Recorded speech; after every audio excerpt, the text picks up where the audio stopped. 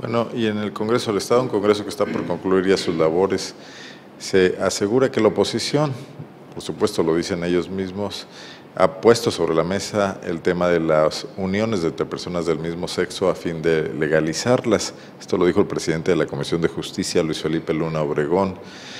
Aseguró que la ley de sociedades de convivencia impulsada por el PRI no pasó por cuestiones ideológicas derivadas del Partido Acción Nacional Dijo también que en el análisis estuvieron ya varias iniciativas que pretenden dar certeza a las uniones entre parejas del mismo sexo, pero todas se han venido abajo por razones políticas y no jurídicas.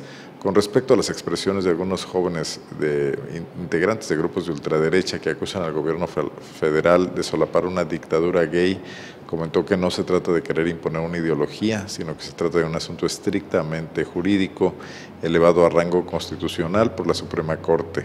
Esto es lo que definió hoy el diputado Luis Felipe Luna.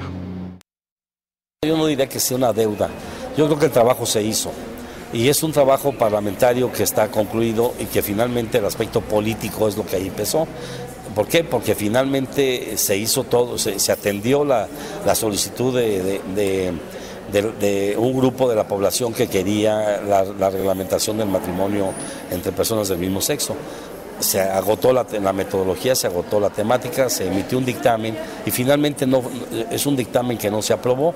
Entonces, yo no creo que haya una deuda en ese sentido, yo creo que se atendió eh, el, tema planteado, eh, controvertido, porque eh, hay voces en pro y en contra del tema, pero yo creo que el, Congreso del Estado lo atendió.